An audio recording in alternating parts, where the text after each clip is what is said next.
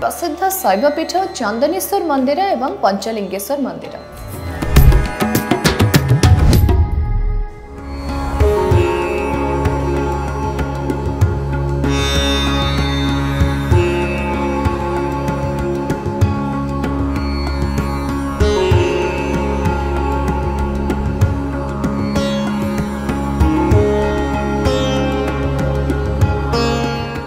ପ୍ରଭୁ ଚନ୍ଦନେଶ୍ୱରଙ୍କ ପାଇଁ ବାଲେଶ୍ୱର ଜିଲ୍ଲାର ଭୋଗରାଇ ସ୍ଥିତ ପବିତ୍ର ଚନ୍ଦନେଶ୍ୱର ପୀଠ ବେଶ ଲୋକପ୍ରିୟ ଜଳେଶ୍ୱର ରେଲୱେ ଷ୍ଟେସନ ଠାରୁ ସଇଁତିରିଶ କିଲୋମିଟର ଏବଂ ଦୀଘା ଷ୍ଟେସନରୁ ମାତ୍ର ଆଠ କିଲୋମିଟର ଦୂରରେ ରହିଛି ଏହି ପ୍ରସିଦ୍ଧ ଶୈବ ପୀଠ କିମ୍ବଦନ୍ତୀରୁ ଜଣାପଡ଼େ ଯେ ଏହି ପୀଠର ମାହାତ୍ମ୍ୟ ପ୍ରାୟ ସତରଶହ ଶତାବ୍ଦୀ ପରେ ଲୋକଲୋଚନକୁ ଆସିଥିଲା।